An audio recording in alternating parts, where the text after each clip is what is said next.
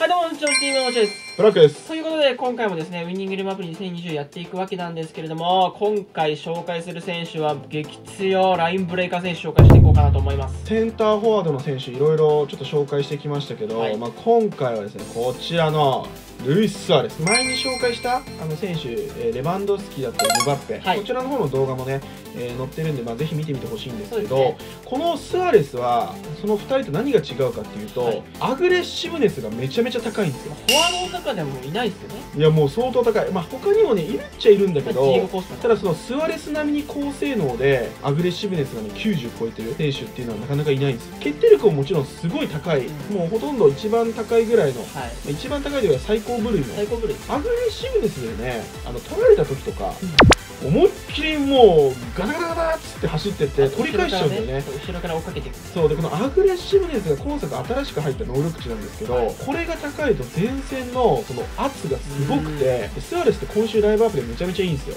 絶好調とか好調のスアレスで追いかけ回されるととんでもないストレスを感じるということでねもうすでに略奪王と名付けているんですけどそうあのだから前線に1枚はこういうアグレッシブネスが高い選手を置いとくうん。だけで、まあ、事故って言ったら言い方悪いですけど、まあ、その引き起こせる、はいはい。で自分が攻撃ミスった後も次の攻撃移る可能性が高くなるのでこれ相手の方はデシャン監督ですね、ワントップといった感じで、でスアレスの場合って、あともう一つあるのは、ボディコーとフィジコンも鬼高いんだよ、うん。90超えてる。体張れるよね。そう体がなんか体張れててでスアレススピードないんですけどあの瞬発があるのよ一瞬速いのでラインブレーカーなんで一瞬の速い動き出しをね結構出てくるんで見てほしいんですけど。能力はね確かにね、まあ、他のセンターフォワードの選手もね、はい。高い選手はいるんでねアグレッシブネスがね合わさるとここねもさあのまあここはね普通に足元に入ってきますけど、ここがこの後ですよねこれちょちょっとダメだったけど一回12発かますでしょ。ググッ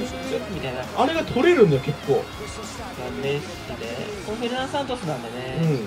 結構あのまあまたフェルナンド・サンと似てるんですトスはまたちょっとねあの解説できる時があったら解説しようかなということでここ。ロナウドスアレス。体ここ結構強いシュート打てるのも結構すごいですよね。今体寄せられてましたけど、うん。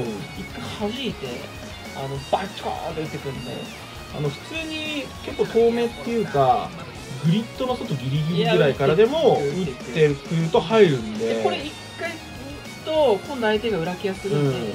あの寄せてくるんで。レスの結構いいところはポゼッションタイプでもカウンタータイプの監督どっちでも合うね。どっちでも合うね。なんかボールもそこそこ持てるしみたいな感じで。振っていとりあえずねもう振ってきます。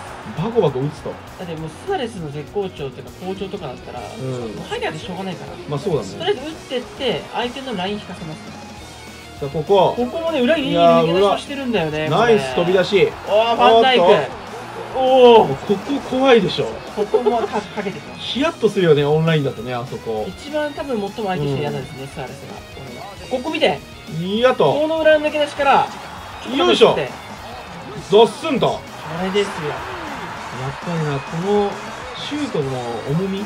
これもうザ・カウンターの場面ですけど奪ってでスアレスの動き出してっていう。早っ。これ1点だけ決まったらうんやっぱスアレスの重みにね。感じたかもしれなない。かなか感じてしまうよ。あれを食らわれたらね。次は絶好調ですね、スアレス。はい。で相手の方4歳これ多分あれですね、グアウディオラうん。の褒めの形だと思うんですけど、カーマ・モリッツ・プロシさんって多分グアウディオラかなといった感じでですね、まあ、サイドに、えークリバリ、右サイドバックに使ってると、火力あるパターンですねそういった感じなんでね、さあ2戦目を見ていきましょう。動き出し、決定力、アグレッシブです。ここの3つが強いんで、本当にで、ボールを持てて、ポゼッション型、カウンター型どっちも合うというところですね。ちょっと細かい動きもまあできる。さあここここメッシ、ロナウド、いいですよスアレス、あスアレスフリーだぞ。こ。こ来るぞ。いいや、決定力あんなネット突き刺さることある すごいでしょあれ。刺さりすぎでしょいくらなんでも。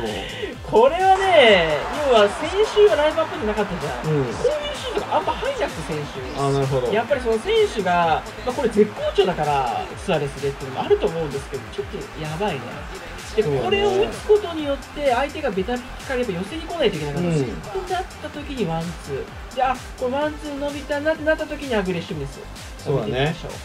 アグレッシブネスマジで大切なんだよな。もうちょっとずれちゃいましたけど。この辺のずれはしょうがないですあのねもしかしたらね PSO に今はい。パッチが来てねかなりねあこれあの操作性が変わってるんですよ。もしかしたらこのアプリにもそういうのがあの多分適用されるような感じもあるんで。そうなんかねどんどん変わっていく可能性はまたあるんですけどここ。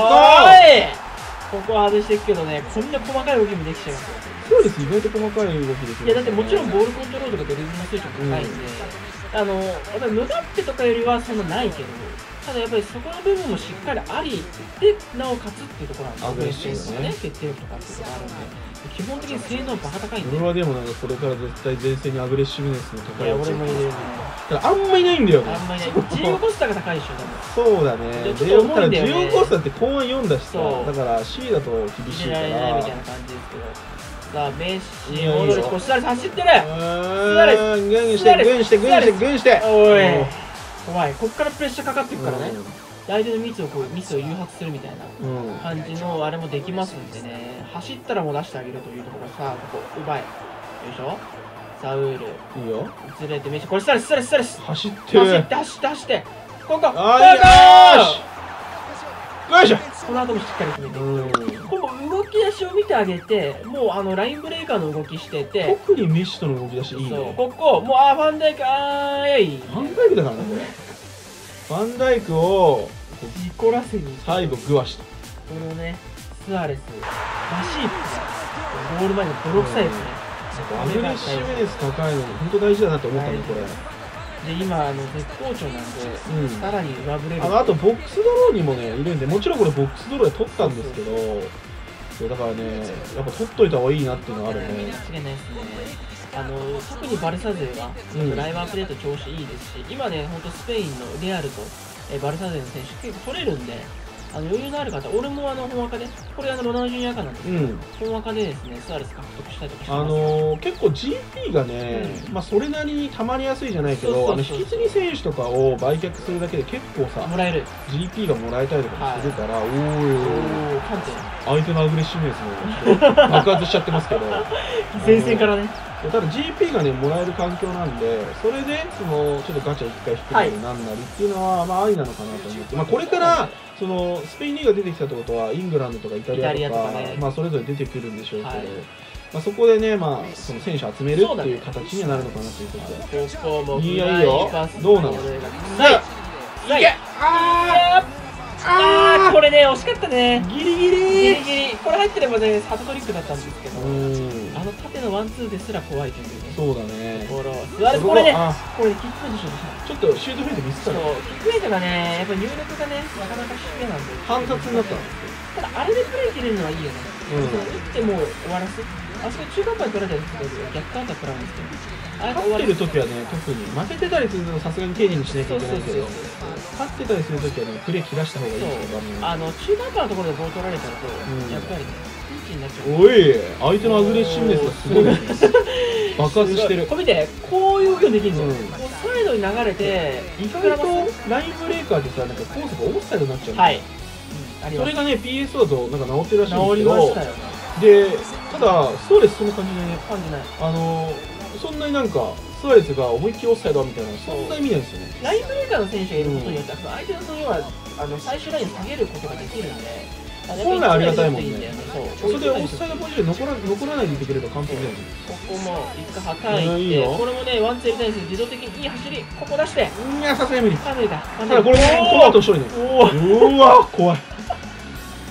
怖いな結構ねスアレスのあれで点決められたからな。今回のねこの動画だとそこまでそのすごい略奪をかまして1箇所ぐらいしかないんですけど、結構ねあの他の場面でね結構匂わすとこあるけどそう。にあのあと惜しいんですよ。うん。ギリギリ成功してないんですけどもっと成功する時あるんで。えぐいよね。それはうん。ストーン映像みたいになっちゃまあそうだね。うもうそうあそこに全部取っちゃうからさ。あまりね。そうあんまり良くない刺激の感じなんだけどね、まあ、といった感じでですね、まあ、今回はねロナウジーニョ赤の方で2試合、やってきたんですけど、今ね、スペインのボックスロール取れますし、うん。今週はライブアップで調子がいいんで、このスアレス、まあ、使ってみていいと思います。あとこれ、あの、レベルが1個手前なんですよ。そうだね俺のはレベル1個そう。で、これレベルマックスにすると、1個手前だと、決定力が94とかなの、うんでアグレッシブ率も93なんですけど、レベルマックスにすると、それが5つ上がります。うわやばいまあ、できる方はですね、本当にスアレス使ってみていただいて、まあ、特にライブアップデートに入ってるスアレスは凶暴だぞというのがね、この映像でわかると思うんで。いやもう使ってほしいね。役立つタックル。そう。あの、どんどんどんどんスルーパス出してって、そうだねういうん。ことをね、まあ、それも一つ戦略のうちなんでね、全然、うん。あの全然あれありありだと思うんでね。で、この他にもムバッペとか、えーレバンドフスキとかの動画とかも上げてるんで、今週ムバッペ調子いいんでね、うん。あのムバッペの結構面白い使い方とかしてるあの映像もあるんで、はい。こちらもぜひぜひ見ていただければ嬉しいかなと思います。この動画が良ければぜひチャンネル登録、高評価よろしくお願いします。よいしょーさら。ボー